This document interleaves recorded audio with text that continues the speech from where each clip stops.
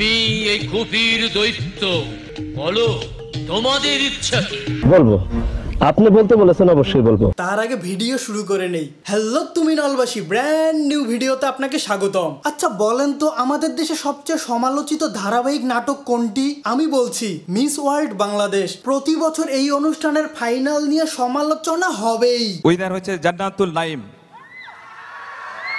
সবাই একটু তালে। ইহা যেন এক ধারাবাহিক নাটক। এই অনুষ্ঠান কবে শুরু হয়, কবে শেষ হয় আমজনতা কিছুই জানে না। কিন্তু ফাইনালে এমন কিছু নাটক আর হাস্যকর কাহিনী হবে, যা ভাইরাল হতে এক ঘন্টাও লাগে না। এবারও যেন ব্যতিক্রম নয়। মিস ওয়ার্ল্ড বাংলাদেশের নানান কারবার থাকছে আজকের এই ভিডিওতে। সো, আজাইরা ইন্ট্রো গল্প বাদ দিয়ে ভিডিও শুরু করা যাক।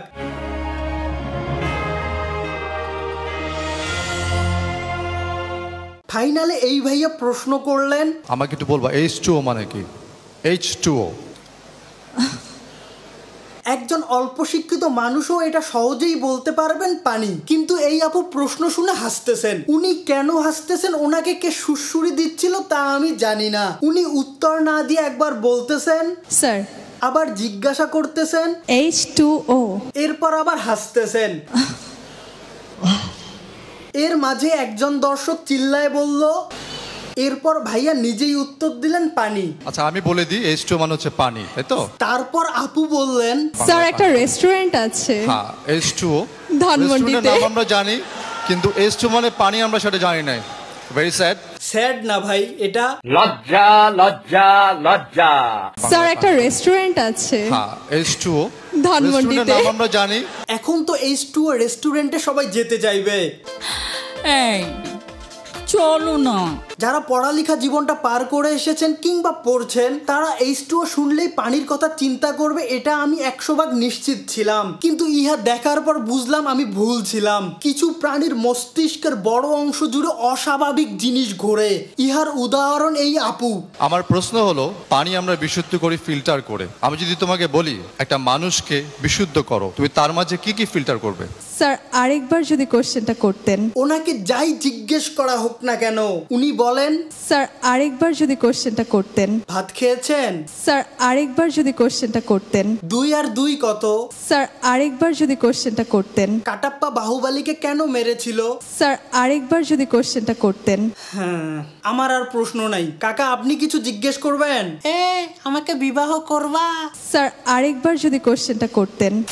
স্যার একটা রেস্টুরেন্ট আছে। হ্যাঁ। তাহলে তার মন আগে বিশুদ্ধ করব। এমন উদ্ভট কথা শুনে এই পিছনের আপু যে হাসি কীভাবে চাপিয়ে রেখেছেন এইটাই আমার মাথায় আসে না। বিস্ময়কর। যাই হোক। প্রশ্নটা আরেকবার শোনেন। এইচ টু মানে কি? উনি জিজ্ঞেস করেছেন এইচ টু মানে কি? হ্যাঁ সাধারণভাবে কেউ এভাবে জিজ্ঞেস করলে মুখ দিয়ে অকপটে বের হয়ে যাবে পানি। কিন্তু প্রশ্নটা আরও সুন্দর করে করলে মেবি নার্ভাস আপুদের জন্য একটু সুবিধা হতো। যেমন এইচ টু কিসের সংকেত? বা এইচ টু কিসের রাসায়নিক সংকেত? তখন হয়তো নার্ভাস আপুর মাথায় অন্য কিছু খেলতো না। রেস্টুরেন্টে বসে খাবার দৃশ্য কল্পনায় আসতো না। তবে এই বিচারক ভাইয়ার এমন প্রশ্ন এবারই প্রথম নয়। আগের বার তো প্রতিযোগী দর্শক, বিচারক সবাইকে চিন্তায় ফেলে দিয়েছিলেন। প্রশ্নটা শুনেন। তিনশো পঁয়ষট্টি দিনের মধ্যে একদিন উল্কাপিণ্ড হয় না এই পৃথিবীতে নাসার রিসার্চে। সো তুমি কি বলতে পারবা সেই দিনটা কোনটা?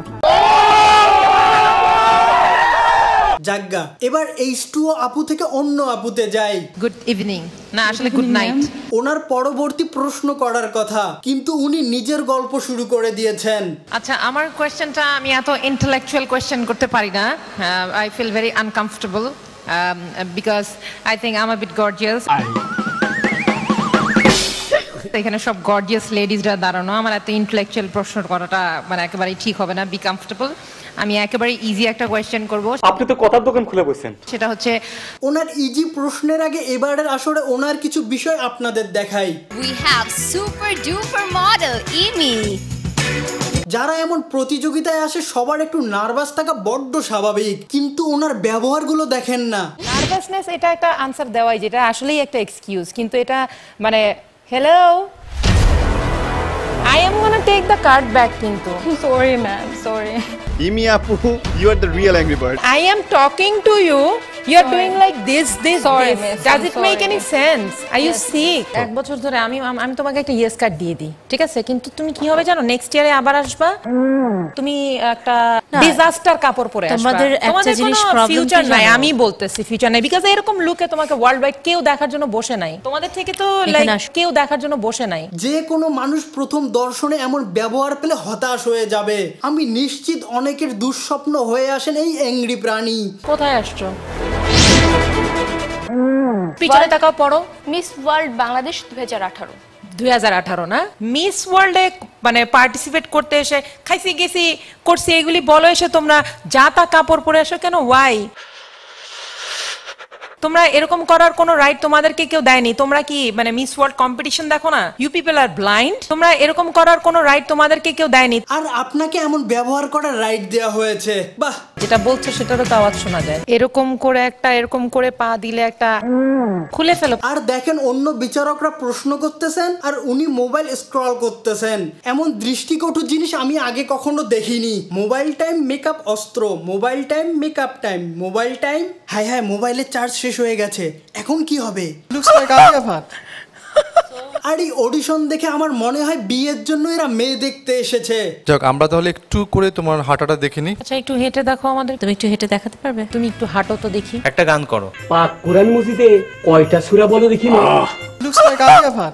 হাসি থামিয়া ফাইনালে ওনার প্রশ্নে ফিরি। তোমাকে যদি তিনটা উইশ দেওয়া হয় লাইক তুমি নিজের জন্য একটা উইশ করতে পারবে অর ফ্যামিলির জন্য একটা উইশ করতে পারবে অর ফর ইয়োর কান্ট্রি একটা উইশ করতে পারবে তুমি এই তিনটা থেকে কোন উইশটা চুজ করবে? আর যে উইশটা চুজ করবে সেই উইশটা কি? অ্যাট ফার্স্ট আমি যেটা উইশ করতে চাই সেটা অবশ্যই আমার কান্ট্রির জন্য। আচ্ছা ফ্যামিলির জন্য উইশ করবে সেটা কি উইশটা আচ্ছা এংরি আপু কি কানে কম শোনেন? উনি বলল কান্ট্রির জন্য উইশ করবে আর উনি বলতেছেন? ফ্যামিলির জন্য উইশ করবে সেটা কি উইশটা জাগা আপুর উইশ শুনি।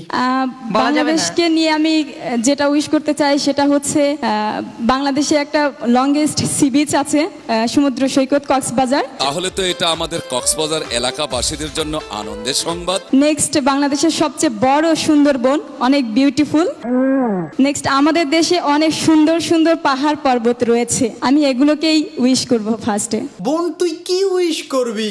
সুন্দরবন আরও সুন্দর হোক নাকি পাহাড় আরও বড় হোক। এমন উদ্ভট উত্তর শুনে ইমিয়াপুর চেহারা দেখেন? মনে মনে। মনটা চাচ্ছে ব্যাক স্টেজে নিয়ে গিয়ে তোমার চুলের মুঠি চিপিয়ে ধরি। বাংলাদেশের জন্য একটা উইশ কোনো একটা ভালো কোনো কিছু। উইশ করা মানে আমি বোঝাতে পেরেছি? মানে আমি উইশ করি ধরো আমি মিস ওয়ার্ল্ড হব। এটা আমার একটা উইশ ঠিক আছে? আমি অনেক সুন্দরী হয়ে যাব। আমি অনেক ট্যালেন্টেড হয়ে যাব। এটা আমার একটা উইশ সো বাংলাদেশের জন্য যদি তুমি উইশ করে থাকো সেই উইশটা কি? সেটা প্রপারলি বলো। সরি ম্যাম বুঝতে পারছি না। এত ভালোভাবে বুঝায় দিল তারপরেও বুঝতে পারছে না। আফসোস। যাই হোক। একটা বিষয় সুন্দরী প্রতিযোগিতা এইসব ইচ্ছের প্রশ্ন অনেক কমন যারা এগুলোতে অংশ নেয় স্বাভাবিকভাবে এগুলো নিয়ে অনেক ভাবে। কিন্তু এখানে যেন একদম অন্য চিত্র। মনে হচ্ছে সবাই শিশু। বুঝি না কিছু আমি যে এক শিশু। স্যার আরেকবার যদি কোশ্চেনটা করতেন। সরি ম্যাম বুঝতে পারছি না। যাই হোক একজন এইচ টুও বুঝলো না আর একজন উইশ কেন ছোটবেলায় মিনা কার্টুন দেখেননি? আপনারা তো সুন্দরী কিন্তু মাথার ভিতর কি?